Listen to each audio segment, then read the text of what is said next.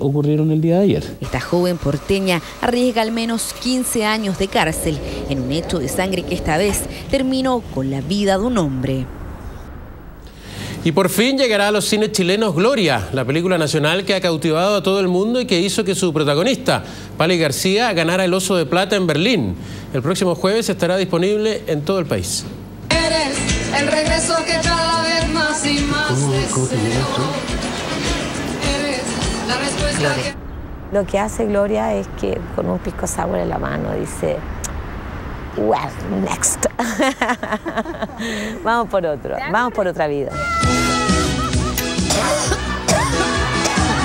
Van a ver una película que está llena de, de ternura, llena de, de, de, eh, dolor también, llena de diversión también, porque va, somos chilenos y todo eso va bien trenzado. No es que, no es que las vidas sean solo trágicas o solo divertidas. Siempre la pregunta es hacia los padres. ¿Saben ustedes, padres, lo que están haciendo sus hijos? Y aquí un poco es al revés, es como, ¿y ustedes saben lo que están haciendo sus padres? Eres el abrazo donde se acuna mis... Una película que le ha hecho honor a su nombre, ovacionada en la mayoría de los países donde ha sido presentada y ella, Gloria, Paulina García, con su brillante y estremecedora actuación, puso el nombre de los chilenos en lo más alto.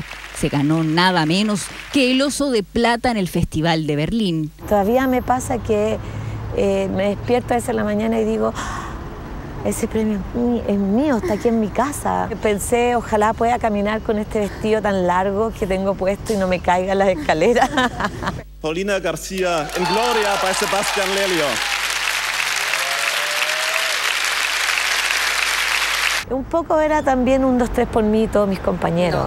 Y llegó, dicen, el momento de la verdad, el más esperado por Paulina, Sebastián y el gran elenco de Gloria, su estreno en Chile. Estamos un poco ansiosos, un poco eh, nerviosos, eh, pero, pero contentos eh, porque por fin. Creo que todos conocemos a esta mujer, todos la hemos visto, eh, quizás es una tía, un amante, una novia, nuestra propia madre. La película cuenta la historia de una mujer cincuentona, divorciada hace 14 años y abuela, pero sin complejos y ansiosa de demostrar que no le teme a la vida.